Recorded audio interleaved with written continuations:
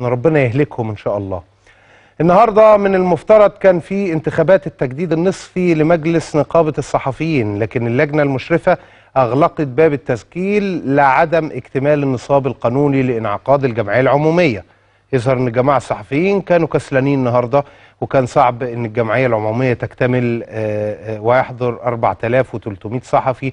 عدد الصحفيين اللي حضروا رسميا وصل 1300 صحفي يعني 25% فقط من إجمالي أعضاء النقابة.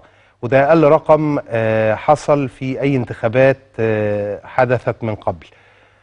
بكده تقرر تأجيل الجمعية العمومية ل 17 مارس الجاري اللي آه، هتعقد بحضور آه، 25% زائد واحد والبالغ عددهم 2150 وربنا يستر. علشان ما يبقاش فيه تيار بعينه هو اللي بيسيطر على النقابة